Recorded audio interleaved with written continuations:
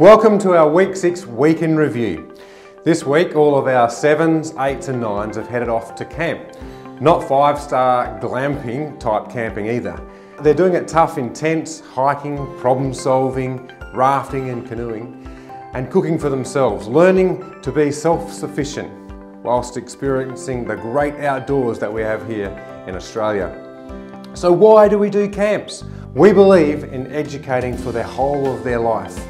We want our graduates ready for the real world though, ready for life. This, this happens through a myriad of events, often outside of the classroom.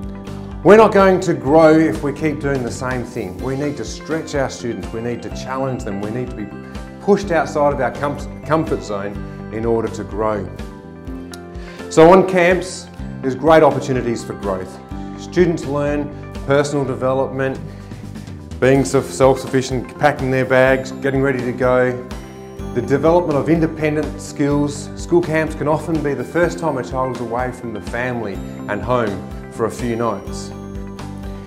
There's also an increased environmental awareness. At school camps, students are exposed to uh, real nature-based experiences. Hands-on activities in the outdoors stimulate all sorts of senses and help learning.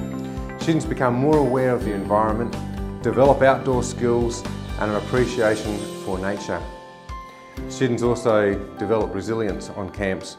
When it rains, for example, or the leeches come out, times get tough or they get cold, they're going to learn some resilience there. And they're going to end up with a story to tell. I reckon that's so important. I always say don't be boring, but when you're on a camp and you experience a cold night or you get wet or whatever it might be, you end up with a story to tell.